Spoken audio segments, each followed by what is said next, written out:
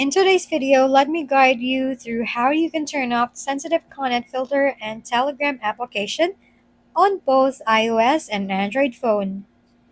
First, open up the browser on your device, and after that, in your browser, type Telegram web and hit enter on your keyboard. Next, open the website called web.telegram.org.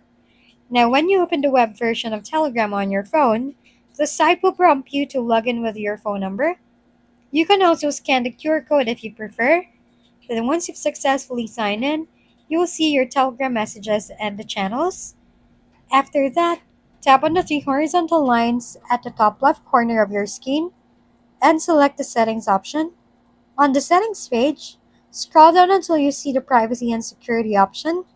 Click on it to open it. Now scroll all the way to the bottom of this page until you see the sensitive content. Check the disable filtering option. This will turn off the sensitive content filter in the Telegram application, allowing you to see graphic content, violent content, and more. And that's it for today's video. This has been your go-to channel for gaming content, Gaming Family. Don't forget to like, subscribe, and leave your comments below.